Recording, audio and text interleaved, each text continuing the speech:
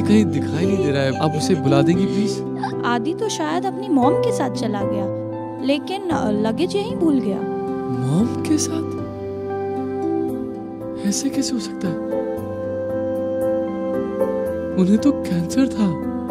कुछ दिन पहले शी पास्ट अवे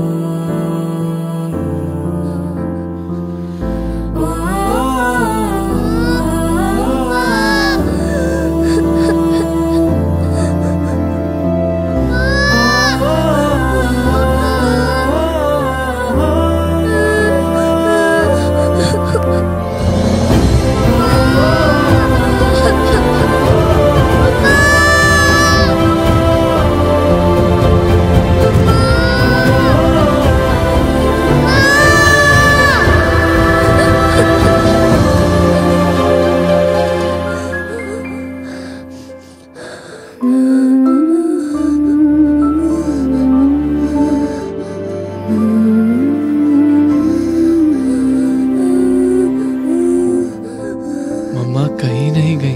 वो यही है हमारे आसपास, हमारे दिल के करीब। कभी यादों